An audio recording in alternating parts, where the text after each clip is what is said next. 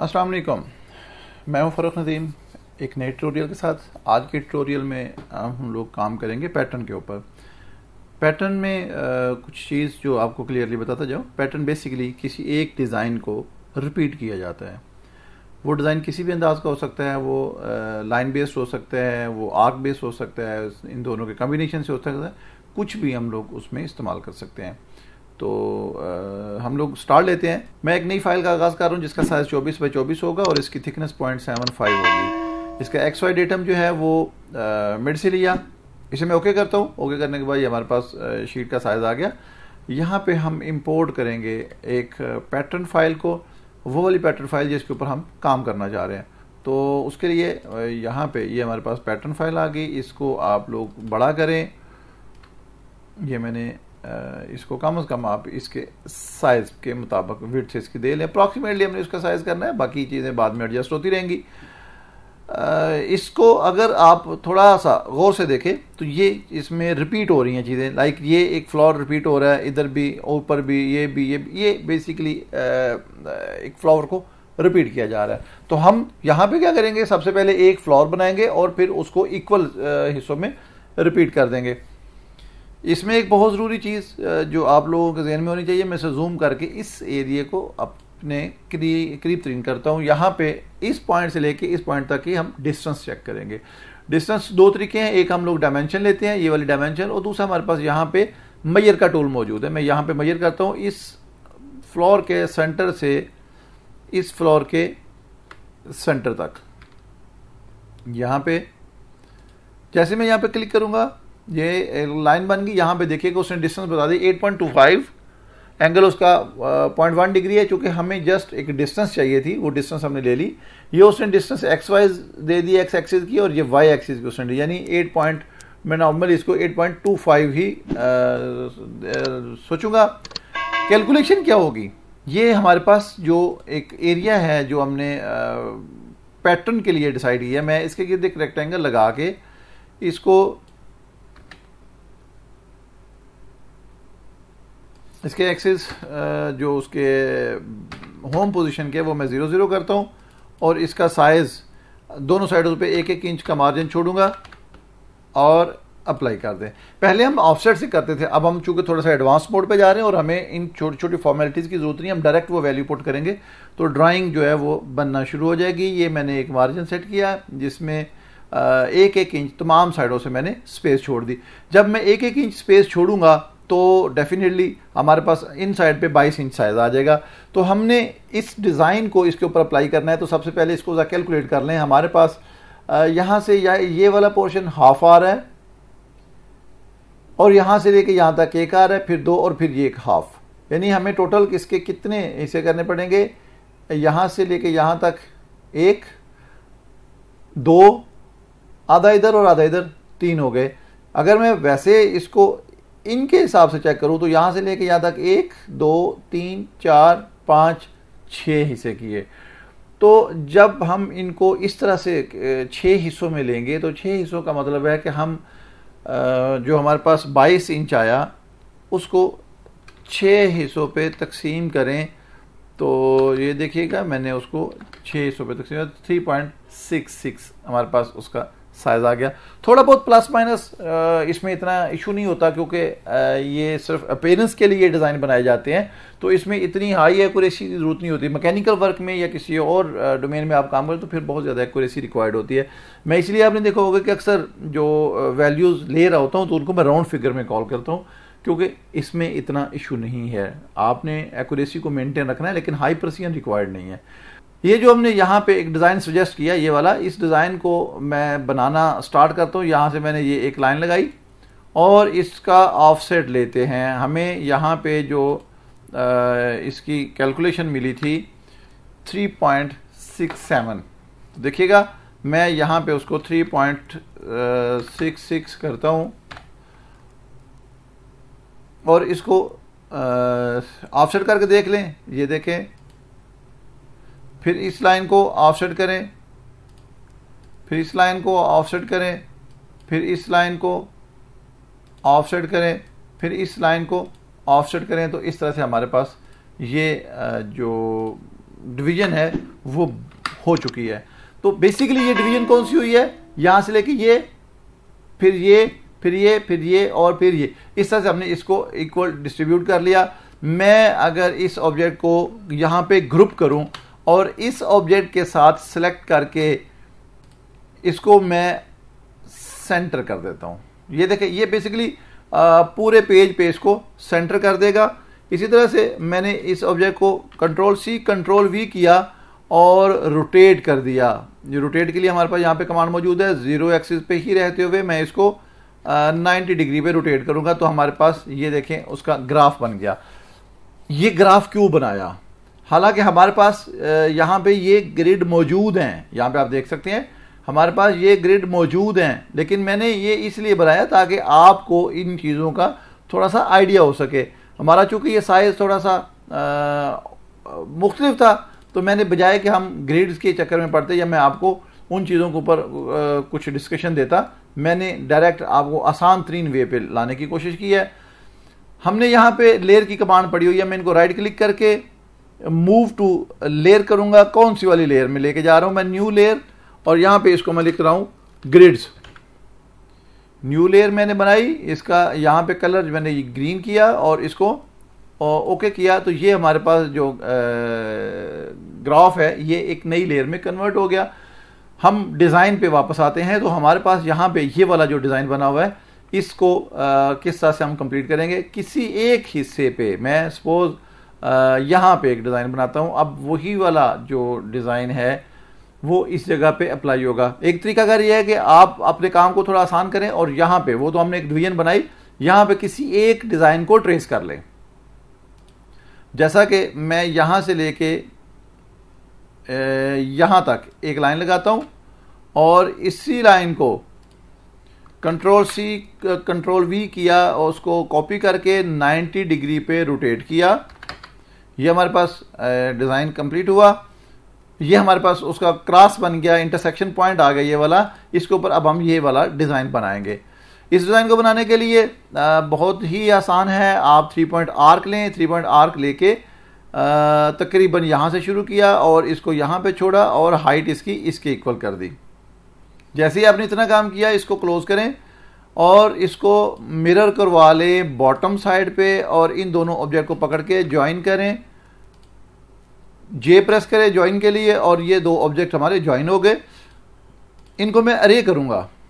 Circular अरे पे ले जाके इसकी वैल्यूज़ को चेंज किया ये पॉइंट हमें अपीयर हो गया और इसको यहाँ पे सेंटर पे रखें और इसको ग्रुप फॉर्म में चार हिस्सों पे मैंने डिस्ट्रीब्यूट कर दिया। तो ये हमारे पास आ, उसका बेसिक जो डिज़ाइन था वो कंप्लीट हुआ। इसी तरह से इसके दरमियान में जो एक छोटा सा सर्कल लगा ले इसकी फिलिंग के लिए, वो सर्कल क्या है, मैं यहाँ पे इसको क्लोज करता हूँ, एक सर्कल लिया, इस जगह से ये सर्कल स्टार्ट करें सेवन फाइव वैल्यू देके, इस लिंक को ऑन कर दें तो अप्लाई कर दें तो ये सर्कल उससे थोड़ा सा छोटा बन गया। इसको बाहर क्लिक करें तो ये चीज़ जो है आपके सामने आ जाएगी। अभी इस डिज़ाइन को हमने कंप्लीट नहीं किया। अभी इसके, ये यहाँ पे देखें, कुछ ये लाइंस यूज़ हुई हुई हैं। तो मैं इन लाइंस को भी यहाँ पे ड्रॉ करूँगा। वो किस तरह से ड्रॉ होगी? इसी तरह से इन लाइंस को मैंने ट्रिम करना है। ये जो यहाँ पे लाइंस नज़र आ रही हैं, इन लाइंस को ट्रिम करना है। लेकिन ये सारा काम कहाँ पे करूँगा? ये मैं यहाँ से सिर्फ़ और सिर्फ़ ये दो ऑब्जेक्ट मूव करवा रहा हूँ। इस जगह पे। ये देखिएगा, मैंने इसको ड्रैग किया और यहाँ पे ला के छोड़ दिया। ये देखिएगा ये मैंने यहाँ पे ये ऑब्जेक्ट रखा। आपने यहाँ तक इतने ऑब्जेक्ट को ग्रुप किया। क्लोज करके यहाँ पे अरे पे आ जाए। अरे कॉपी ये बड़ी इंपॉर्टेंट कमांड है। अरे कॉपी हम किस तरह से करेंगे? मैं यहाँ पे आपको दिखाना चाह रहा हूँ। ये 6.53 इसका लेआउट साइज़ है। एक्स की तरफ़ भी और वाई की तरफ़ भी। उसकी रोज़ और कॉलम को यहाँ पे बताया गया। एक ये इसमें सबसे पहली बात ये है कि जो हमारा पैटर्न बनेगा, उसमें रोज़ और कॉलम। रोज़ वाई साइड पे होता है, कॉलम एक्स साइड पे होता है और वाई साइड पे रोज़ की क्वांटिटी कितनी होगी और एक्स साइड पे कॉलम की क्वांटिटी कितनी होगी। यहाँ पे आपने वो क्वांटिटी मेंशन करनी है। ये आपने यहाँ पे गैप देना है या ऑफसेट देना है। गैप और ऑफसेट में फ़र्क मैं बता दूँ। ऑब्जेक्ट से ऑब्जेक्ट के दरमियान जो गैप जो खाली जगह बचती है वो गैप कहलाता है। एक ऑब्जेक्ट से दूसरे ऑब्जेक्ट के सेंटर में जो फासला है वो ऑफसेट कहलाता है। तो इस तरह से आपने यहाँ पे एक्स और वाई दोनों सिमतों पे वैल्यूज़ पुट करनी है। ये वाला जो ऑब्जेक्ट अभी हमने यहाँ पे देखा मैं इसको अगर थोड़ा जूम करूँ तो इस ऑब्जेक्ट को हमने जब सेलेक्ट किया तो ये उसका यहाँ पे 6.5 साइज़ आ गया और रॉ उसकी मैंने दे दी चार कॉलम उसके दे दिए मैंने सात। इसी तरह से आ, उसके गैप की बजाय ऑफसेट वैल्यूज़ की दी, यानी एक से दूसरे के दरमियान जो ऑफसेट वैल्यू है, वो एक्स तरफ़ से 3.66 होगी और वाई साइड पे 7.33 होगी, लेकिन माइनस में, क्योंकि हमने नीचे वाली साइड पे इसको मूव करवाना है। तो यहाँ पे हमारे पास एक ऑप्शन है जिसमें कॉलम डिस्प्लेसमेंट वैल्यूज़ हैं। तो मैं यहाँ पे जब ये कॉलम क्रिएट करेगा या रो क्रिएट करेगा तो जिस सिमत की वैल्यू मैं मूव करवा दूँगा, उस सिमट पे, सिमत पे ये मूव कर जाएगा जैसा यहाँ पे देखें मैंने 3.66 उसको अप साइड पे मूव करवा दिया। यानी जब ये मूवमेंट आए तो वे, जब ये कॉपियाँ बनाए तो वाई साइड पे इसको थोड़ा सा मूव करवा ले। यहाँ पे थोड़ा सा जूम आउट करके मैं एक, आपको एक्सपेरिमेंट देता हूँ। ये देखिएगा। वह क्या है? जब ये वाला ऑब्जेक्ट इस साइड पे कॉपी हुआ तो उसने इसको यहाँ से लेके यहाँ तक ऊपर शिफ्ट कर दिया। यही वजह है कि ये ये वाला फ्लोर इसके सामने आना था और वो ऊपर चला गया। नीचे वाला इसके आगे आ गया, उससे नीचे वाला इसके आगे। तो इस तरह से ये डिस्प्लेसमेंट है। मैं अगर इसको यहाँ पे ज़ीरो करता हूँ तो फिर इसकी पोजिशन क्या होगी? देखिएगा, मैं ऑब्जेक्ट सेलेक्ट करता हूँ और ये देखें। अब उसने यहाँ पे एक दूसरे के ऊपर ही रख दिया तो ये गलत है। हमने क्या करना है? इसको ऊपर मूव करना है, क्योंकि एक जगह पे दो रखे गए हैं। मैं अगर इसको अपसाइड पे मूव करवा दूँगा, यहाँ पे जो वैल्यू हमने दी थी 3.66 कॉपी करवाता हूँ तो ये पोजीशन आ गई। अब यहाँ पे हमें करना ये है कि इस ऑब्जेक्ट को मूव करवाना है इसके ऊपर। क्योंकि हमें ये वाला फ्लोर एग्जैक्ट यहीं पे लाना है। तो ये वाला फ्लोर जब यहाँ पे इस पॉइंट से मैंने पकड़ के आर्ट को होल्ड करें और इस जगह पे लाया तो इसको पोजीशन प्रॉपर बना लें। ये आया। इसको क्लोज करें तो ये डिज़ाइन उसका सारे का सारा कंप्लीट हो गया। यहाँ पे ये जो अंदर वाले ऑब्जेक्ट हमने सेलेक्ट किए, इनको मैं ट्रिम करना चाहता हूँ। बाहर से सारे ऑब्जेक्ट ट्रिम करना चाहता हूँ। तो आप यहाँ पर, हमारे पास एक कमांड मौजूद है ट्रिम की। ये एक जो सिलेक्टेड ऑब्जेक्ट का ट्रिम करने के लिए बड़े क्वांटिटी जो होती है, उसको इकट्ठा ट्रिम करने के लिए ये कमांड यूज़ होती है। क्लियर आउटसाइड बाउंड्री ये मैंने इस ऑब्जेक्ट को सिलेक्ट किया और इसके साथ मैंने ये वाला ऑब्जेक्ट सिलेक्ट किया और इसको क्लियर करें। ये मैंने एक आपको बहुत शार्ट कमांड दे दी। दोबारा से देखिएगा, जब मैंने इतने ऑब्जेक्ट इकट्ठे बना लिए, मुझे इस ऑब्जेक्ट को मैंने ग्रुप किया और बाहर वाला कोई ऑब्जेक्ट मुझे नहीं चाहिए। पहले हम मैनुअल ट्रिम करते थे एक एक ऑब्जेक्ट को, लेकिन मैं यहाँ पे ये ऑब्जेक्ट आपको ट्रिम करना बताऊँगा। आपने ये वाली कमांड चूज़ करनी है। ट्रिम की trim selected object to last selected object यानी आपने जिन ऑब्जेक्ट को ट्रिम करना है, सबसे पहले वो पकड़े। उसके बाद जो लास्ट ऑब्जेक्ट आप सिलेक्ट करेंगे, वो उसका ट्रिमिंग सोर्स बनेगा। शिफ्ट के साथ मैंने इस ऑब्जेक्ट को सिलेक्ट किया और क्लियर कर दें। तो इस तरह से ये ये हमारे पास, ये देखें मैं अगर इसको डिलीट करूँगा तो ये उसने तमाम ऑब्जेक्ट्स को यहाँ पे ट्रिम कर दिया। तो ये हमारे पास एक जो हमने फ्लोर बनाया था, उसको हमने पैटर्न कर दिया या रे कर दिया। अब इसके अंदर कुछ चीज़ें रहती हैं, हम उन पे काम करेंगे। लाइन की कमांड लें, इसके ये जूम किया मैंने, इसके मिड पॉइंट से मैं लाइन को इसके मिड तक छोड़ता हूँ। दोबारा से लाइन की कमांड ली। इसके मिड से लिया।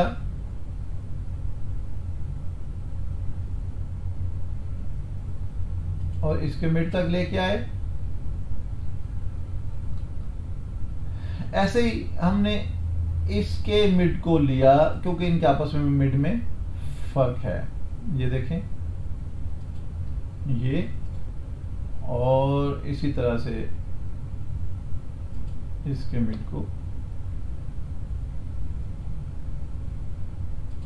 यहाँ पे किया अच्छा इसमें जो चीज़ देखने वाली है, वो जरा समझेगा लाइंस आपस में ऐसे क्रॉस होंगी। किस तरह से? हमारे पास यहाँ पे ट्रिम की कमांड मौजूद है। हम यहाँ पे इसको अगर मैं ट्रिम करता हूँ, ये देखें।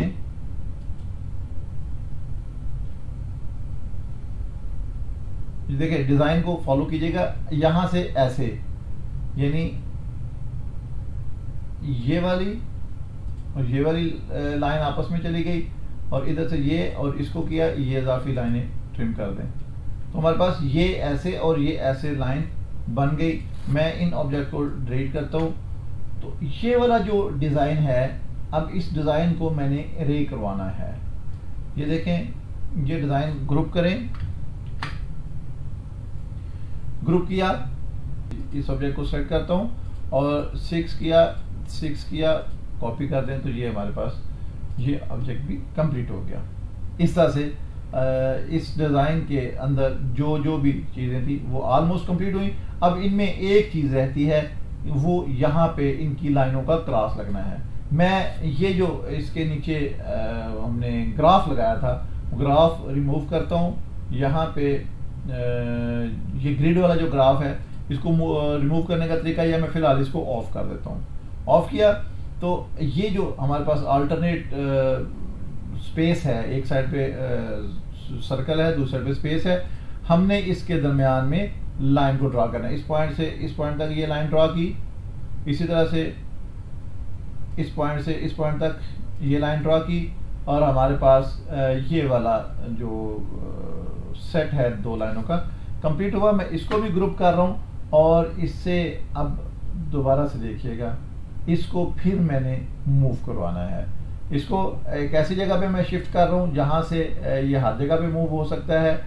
इस ऑब्जेक्ट को मैंने मूव की कमांड से पकड़ा और यहाँ पे रखा। आर्ट को ज़रूर होल्ड रखिएगा। अब मैं इसको यहाँ पे ले आया।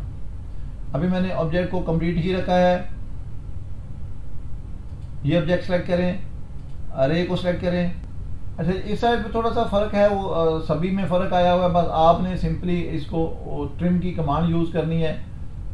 ये मैंने ऑब्जेक्ट सेलेक्ट किया क्लोज करें और यहाँ पे उसके कंबाइंड ट्रिम को यूज़ करके क्लियर कर दें। तो आप देखेंगे कि बाहर से जो अजाफी ऑब्जेक्ट है वो रिमूव हो गया और ये आपके पास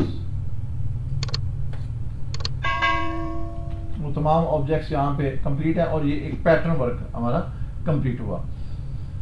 तो नाजिन आज हमने इस लेक्चर में जो चीज़ें डिस्कस की, वो बेसिकली रे है। रे के साथ हमने उसकी डिस्प्लेसमेंट भी पढ़ी और किसी भी पैटर्न को डिज़ाइन करने का मेथड भी हमने सीखा। और उम्मीद करता हूँ आपके लिए ये लेक्चर बड़ा यूज़फुल होगा। इंशाल्लाह हमारा नेक्स्ट लेक्चर जो है उसमें यहाँ पे कुछ कमांड्स हैं जिनका मैं ज़िक्र करूँगा। लाइक यहाँ पे हमारे पास ये वेक्टर टेक्सचर कमांड है, इसको हम डिस्कस करेंगे टेक्स्ट को डिस्कस करेंगे। इसी तरह से यहाँ पे हमारे पास ज्वाइन के साथ साथ ये कुछ मज़ीद जॉइन करने की कमांड्स हैं। ये हमारे पास फिलेट वगैरह करने की कमांड है बाउंड्री क्रिएट करने, हम इन कमांड्स को डिस्कस करेंगे। हमारे इस चैनल को सब्सक्राइब करें अपने सोशल मीडिया पे इसको लाजमन शेयर कीजिएगा। ये इलम है, ये एक अमानत है जो आप लोगों का हक बनता है कि इसको दूसरों तक भी पहुंचाएँ। लाइक करके, अच्छे कमेंट्स से नवाजे में।